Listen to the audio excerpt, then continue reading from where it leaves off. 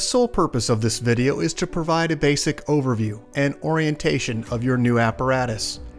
This video is not intended to act as or replace individualized driver operator training. Individual fire departments may base guidelines, policies, and procedures tailored for best practices.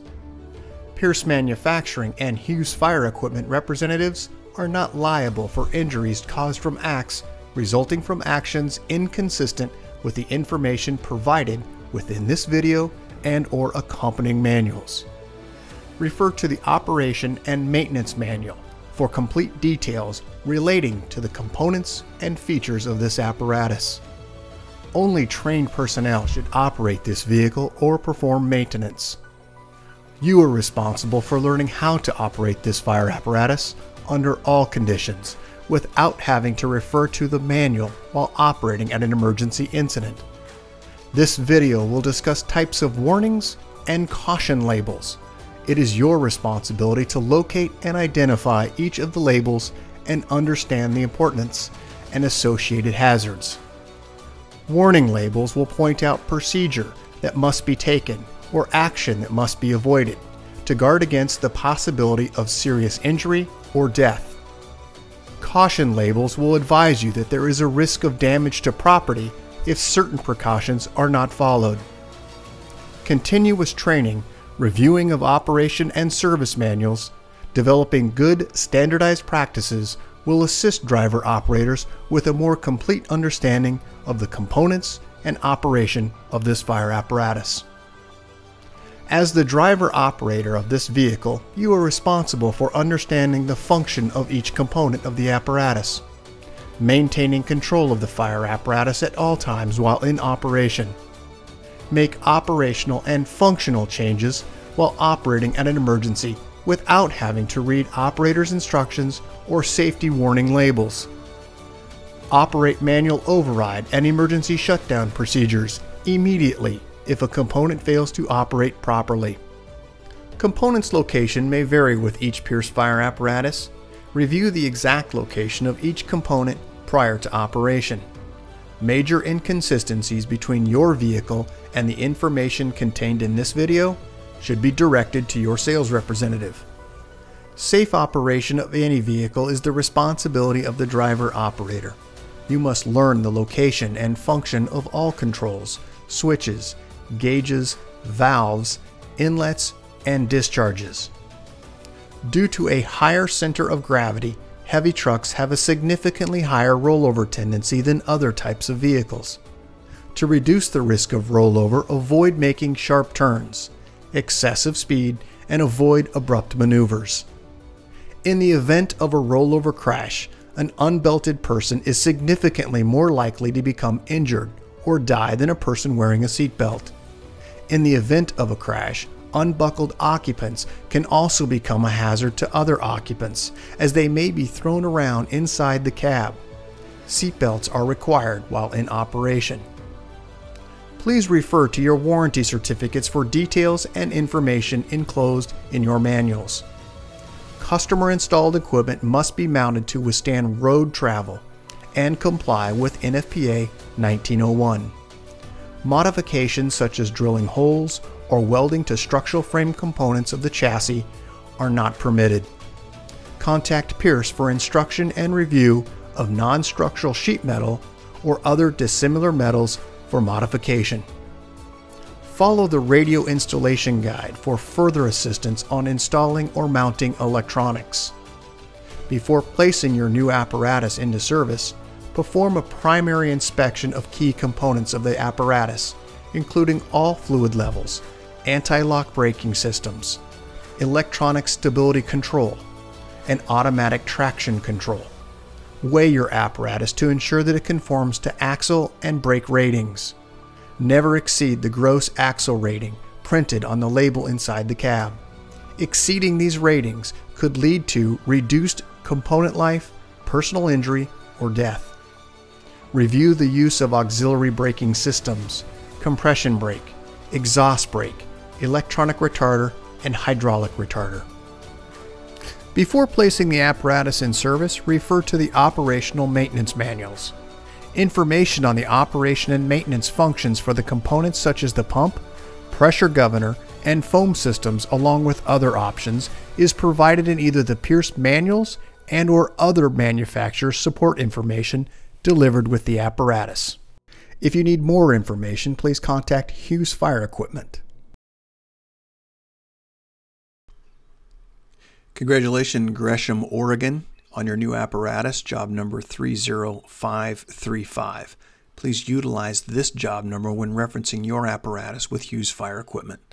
Let's get started on a brief orientation of your new apparatus. Starting on the bumper, you have two forward mounted closed tow hooks. Moving to the center location, you have two forward facing fog lights. Located in the very center, you have a front bumper mounted mechanical siren. Moving to the driver's side, you have dual air horns. Let's go ahead and take a look underneath the front bumper area. As you can see, you have perimeter lighting on both the right and left and all other access doors for personnel, in addition with an image of your TAK-4 suspension. Let's go ahead and start at the very top section here. You have your headlight cluster, which offers your inner light high beam and outer low beam. On the right hand side, you'll find your turn indicator on the right and left side.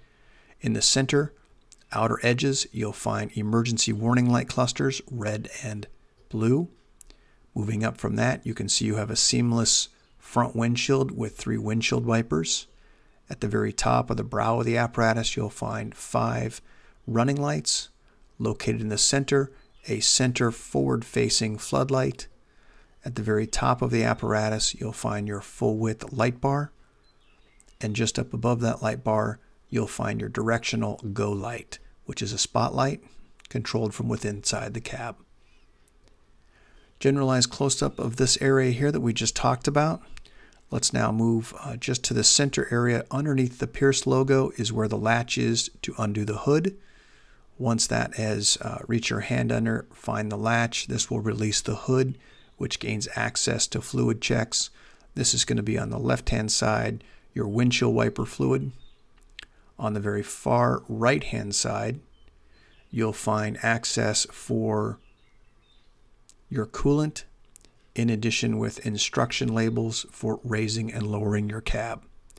This is also the location for your power steering uh, fluid, ATF. Here's the information regarding the raise and lowering of your cab. The red switch is to raise and lower, and the yellow is a push button on a coil, which can be pulled out so you can visualize why you're operating that motor. Generalized view of the top section of your apparatus. This is that forward-facing floodlight. This is location also inside the light bar of your Opticom. Close up here of your Golight, which is once again multi-directional, controlled from within inside the cab. You have rear view mirrors, which are flat on one top section and concave on the bottom section. You also have emergency warning lights located on the front section near the bumper. As you can see, the uh, illumination of the side lights or perimeter lights for the cab. These are going to be your Goodyear G296 MSA tires. Located in the center, you have a Stemco visual indicator for your hub seal. At the very top, passenger and driver side, you'll find side-facing floodlights. Let's go ahead and start now uh, in this section where the lower portion of your apparatus uh, near the pump panel is your shore power inlet, auto eject 20 amp. And let's start taking a look at the pump panel area. Let's move up to the upper left hand corner where cross lay number one and cross lay number two. The yellow or orange strap is for access for when you pull that, it'll release the webbing to gain access to your cross lays. Next to that, you'll find additional long storage or board storage for backboards. We'll take a generalized view here of your pump panel and we'll break down some of the components within your pump panel. In the very center, when this light is illuminated, it's indicating that your pump is properly engaged.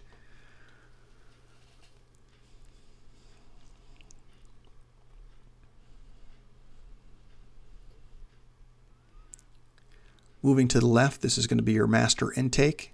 On the right hand side is your master discharge. These are all gauges. Just beneath that, you'll find your vacuum and pressure test gauge ports. As we move to the right, you'll find a pump panel lights, pump engaged indicator, driver side flood, driver side scene, and also an air horn switch. Let's go ahead and talk about the next section over here, which is going to be your Pierce governor. At the very top, you're going to find, if illuminated, a check engine light, a digital readout for the RPMs, in addition with a stop engine light if illuminated.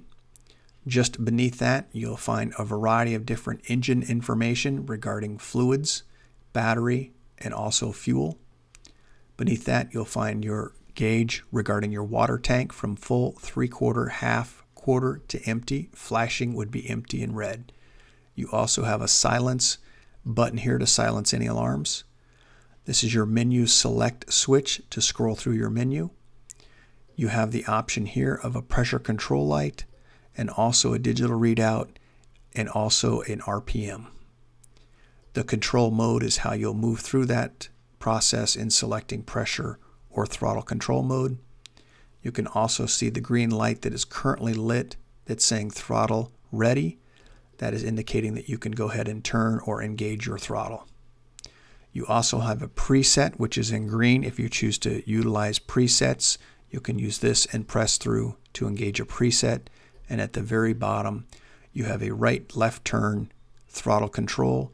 And in the center, you can see is to push for uh, moving back to idle. To the left of that, you'll find an additional audio speaker. Uh, this is for your warning sounds and where that sounds come from. It is also adjustable. Let's go ahead and take a look. Generalized view here. We'll start on the left. Cross lay number one is in red. Cross lay number two, your deluge discharge, driver rear discharge, and also a two and a half inch rear discharge. To the very bottom section in yellow, you'll find number one discharge, number two discharge, number three discharge. Those are all two and a half inch, and your number four passenger side discharge. To the right, you'll find your tank fill and recirculating line. These are valves. Just down from that, you'll find your tank to pump valve and also an indication or warning label in this area. Please read and seek information on those warnings. This is going to be a turn, not a push or pull. It is your engine cooler. And just beneath that, this is your Hale prime for your pump.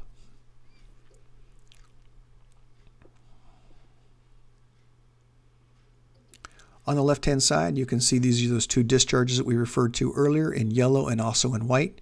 Those are two and a half inch. There's also information here regarding the specifications and minimum operations for your pump. Located in the center behind the Pierce logo, American Eagle flag, is your large diameter intake. And on the very far right, you'll find this wheel, which is your rear inlet. Down at the very bottom, there's a placard regarding your Waterous pump. As we move further down to the left, you'll find this Pierce logo. And just beneath that, you'll find your 150, 200, and 250 test pressures and RPMs. You're also going to find a 2.5 inch auxiliary inlet, was the last image. This is that Waterous pump model, and it also gives your transmission model. There are a variety of discs across the very bottom, uh, drain valves, all associated by color. On the right hand side, you'll find your pump drain, and just beneath that at the very bottom, you'll find your manual pump shift lever. You also have tubbed storage uh, down in this area. You can see that there are uh, Velcro straps to hold that tubbed storage hose in its place. Generalized view, you have three fold down steps to gain access to the very top area. There's also work lights and step lights within those or vicinity of those steps. Let's go ahead and take a look. This is uh, the top section of your crosslays. It is a latched closed section. Generalized view here, you have offered an extend again here in addition with your deluge. Let's go ahead and move down to this compartment, which is your first compartment after your pump panel. Two adjustable shelves in that area. Also, you have short inlet power or outlet power. And as we move down here to the lower section, this is going to be your uh, auxiliary automatic battery charger. Let's take a look behind these two compartment doors here. They're just in front of the rear wheel. As we look inside one in blue, a 4.5 DEF uh, for your diesel exhaust. Just up from that, you have a bottle storage location. Let's go ahead and move now to the rear section of this area. You'll find two additional access points here. As we open the very top compartment uh, of that access, uh, or I'm sorry, the bottom compartment, you'll find the location, which is a silver cap for your diesel fill. At the top section here, you'll find bottle storage. Let's go ahead and move now to the upper section. You can see in this location at the very top, you have an adjustable shelf that's currently fixed. And in the upper left-hand corner, you have a shore outlet, which is a 20 amp shore outlet. Let's move to the very rear compartment this long or tall compartment here. It's a two section door. First section opens. To gain access to the second door, reach inside lower corner. You'll find a black latch. That latch will allow you to engage or open the lever to allow that second door to be opened. In this compartment, you'll find at the very top an adjustable fixed shelf and at the very bottom a pull-out style. On the right-hand side of the rollers, you'll find this lever to allow you to access and pulling that shelf in the outward position.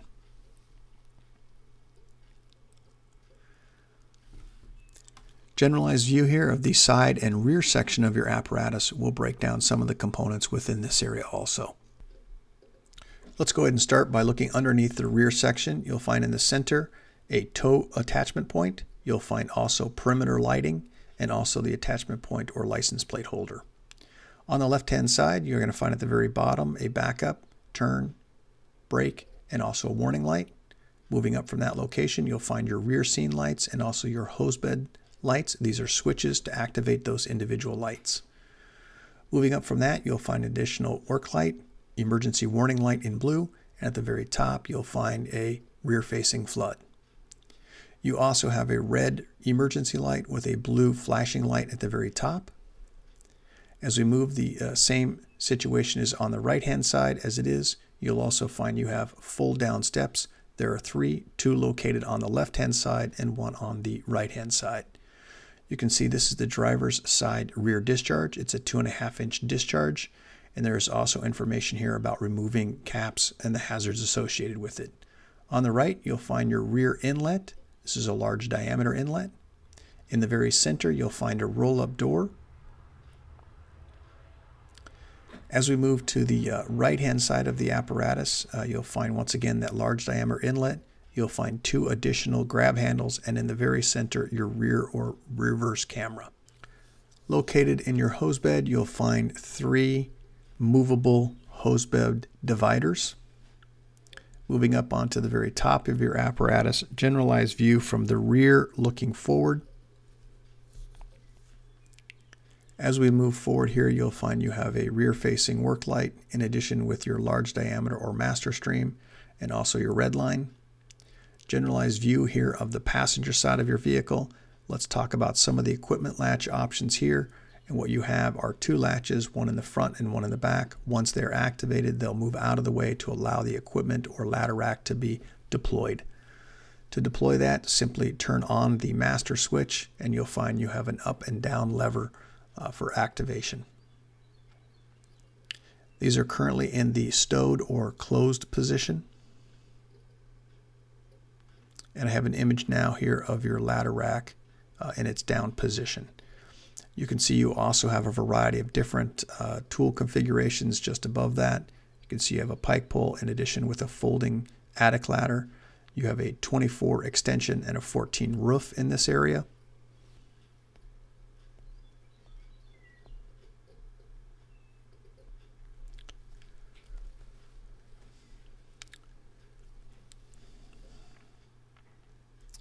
The latching mechanism here is on the rear. There's also one on the very front section to gain access to your attic or 10-foot ladder. In the center of this area, you'll find at the top a side-facing work light or floodlight. Let's go ahead and move down uh, to the lower section, rear under the rear compartment. You'll find once again perimeter lighting. This is the also the location of that rear inlet air bleed.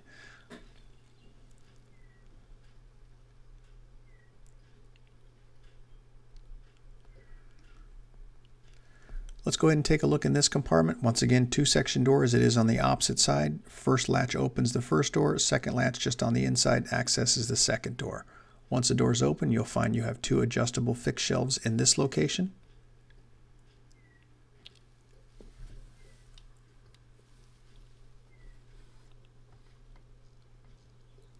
We'll go ahead and move to the center compartment. Similar configuration, you have an adjustable shelf in this location, but let's look in the upper right hand corner. There is also an outlet here, which is your shore line outlet for when you're plugged into shore power. Once again, 20 amp outlet. Let's move down to the smaller compartments just underneath this compartment. You'll find this first uh, larger compartment. This is going to be a bottle storage location. Uh, the compartment door is currently in the open position. As we move forward to the smaller door, this will be the access door for your fill of your equipment rack hydraulic reservoir. Moving just forward of this location, this compartment door, access door, this is going to be a bottle storage.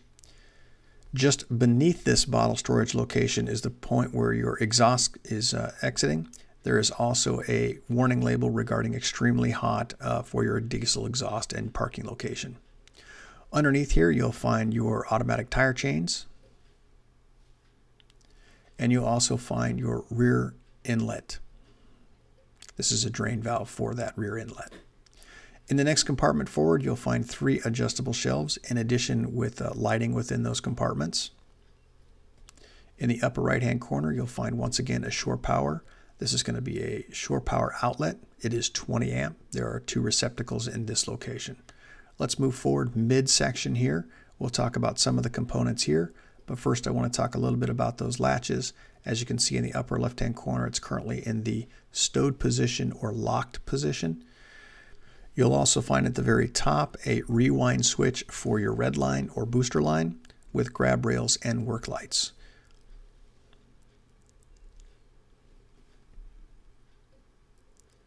We're back to the section housing the center area of your pump panel. Let's talk about some of the components here. As you can see, there is an additional rewind button here, passenger side scene lights, and also the uh, access or controls for your powered equipment uh, rack.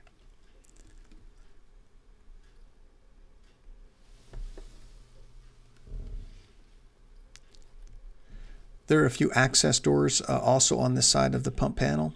Let's talk about what's behind the access door. This long access door is going to be your intake relief valve, and there's also a strainer just beneath that.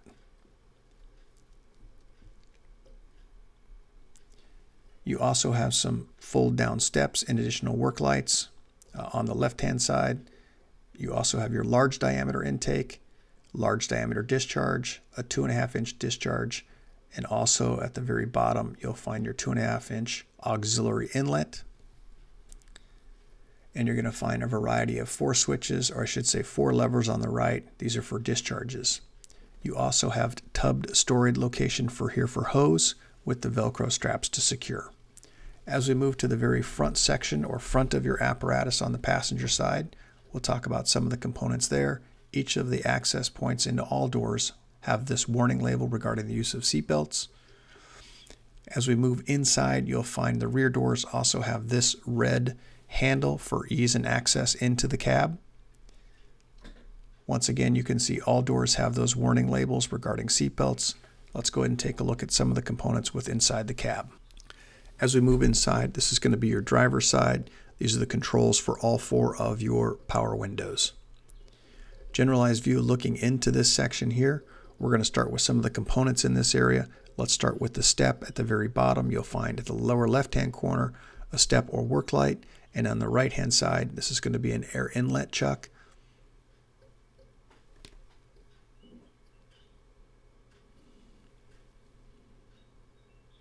Just up from this location, just by the seat location, you'll find a remote switch. I don't have any information as to what this remote switch calls for in my notes, uh, but please seek the owner's manual. On the driver's seat, you have an adjustable air ride, front end movement, and also up and down. Once again, you can see all seat belts are colored in the red color for ease of access and understanding if everyone has their belt on. There is also a tilt on the back section of your seat, and just behind that seat, you'll find an audible speaker for your Just behind the seat, you'll find a mounted bar. That's for accessing or manually tilting your cab. Let's go ahead and take a look just inside the cab. As we look inside the cap, I'd like to direct your attention to the yellow label next to the warning and caution label.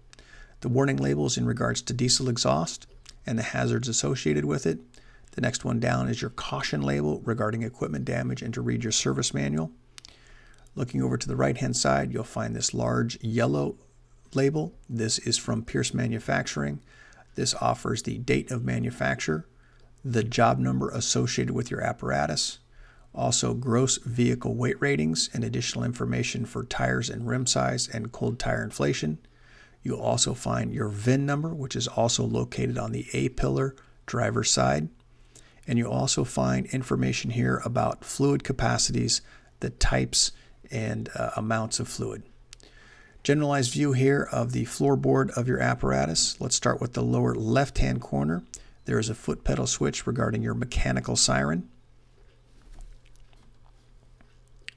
As we move upward from that location, we're going to find a cluster of um, module plugins here. Uh, this is for your ABS, transmission. These are all diagnostic ports. Just up from that location, you're going to find your battery quarter turn on off switch. As we look to the column itself for the steering column, you'll find your right left turn indicator. You'll also find windshield wiper controls, and you'll also find cruise control. Also mounted on the uh, column, you'll find a push and pull. This is for tilting and telescoping of your steering column. Let's move to the upper left-hand corner, location where you'll find your ignition, start, and also the hazard lights. On the left, you'll find this small button, Emergency Master, your headlights for on and off, and also a panel rocker switch for dimming and brightening. Once again, on the left, you'll have your ignition, start, and hazard lights. Generalized view looking uh, outside to inside. Once again, you'll find those red seat belts for easily identifiable. We're now looking at the dash cluster. We'll start on the left-hand side. You've got your DEF, water temperature, oil, and transmission. You also have in the center your RPM or tachometer, your miles per hour speedometer, in addition with a variety of lights uh, for helping for diagnostic reasons. On the right, you'll find your volts, fuel, front air and rear air, in addition with at the very bottom a digital display regarding temperature and time. Let's now move to the right hand side. You'll find the OK for high idle. It is a green indicator. If it's on, you can go ahead and engage the high idle on the left hand side. Generalized view here of the center console. We'll talk about and break down some of the components here. Let's first start on the left here. Just behind the A pillar, you'll find this serial number, and also you'll find that on that yellow placard. In the center, you'll find your Pierce command zone on the left. Also located here is the pump and drive Allison transmission pad. Moving just to the right of that, you'll find a variety of different switches from driver lights, passenger lights, and scene lights, in addition with perimeter fog and your load manager. As you can see in the upper left, driver scene and passenger scene, front flood, rear scene, perimeter, work lights, fog lights, and load manager. Just beneath that, you'll find your engine brake on off, settings for that engine brake, front wheel lock, tire chains, and your mirror heat. On the right hand side of that, you'll find an exhaust temperature. You'll also find at the very top your right and left mirror controls.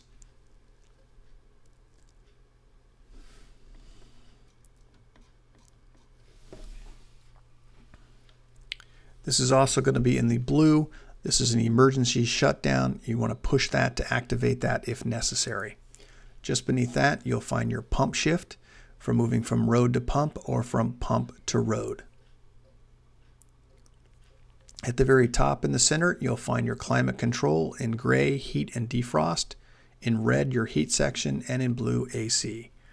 Let's look overhead of the operator. We'll start at the very left-hand corner, and this yellow label is for your height, length, and gross vehicle weight rating. It also has information on your job number. Those are the numbers as they come from the factory. If you make any adjustments, I would suggest changing this label. Let's go ahead and start with the next set of images here. This is going to work all the way across this area. First, we're going to start with the light cluster here. This is your emergency master, roof, front warning, side warning, lower, rear, upper, high beam, and a future. On the right, you have a siren brake, air horn, and a variety of different future locations for additional switches if you choose. To the right of that, you have additional storage or component, a component location for additional storage. You also have overhead in all sections where passengers are a push on, push off red or white style overhead lights. In the center, you'll find a do not move the apparatus if this light is illuminated. It's indicating that you have a compartment or something ajar. In the center, you'll find your Pierce seatbelt information, red indicating someone's in the seat, and not belted, green indicating that they're in the seat. Across the back, you can see you have two center mounted SCBAs, and on also on the engineer side or operator side, you'll find an additional SCBA seat. Just behind or near that section, just in front of those seats, you'll find some additional storage locations. Example, this storage location, when open, it has illumination in addition with an adjustable shelf. Located in the center, just forward of those forward-facing SCBA seats, you'll find this compartment door. When that is open, it is gains access to the oil and transmission fluid checks. Let's go ahead and take a look at the B pillar area. Uh, these are going to be on both right and left hand side of the apparatus for storage, in addition with 12 volt access and shore power access. Let's go ahead and take a look once again looking backwards at those rear section of the seats. You can see there are four seats. The two outer seats have the fold down or pull down style seats. There's also a storage compartment in the very center area.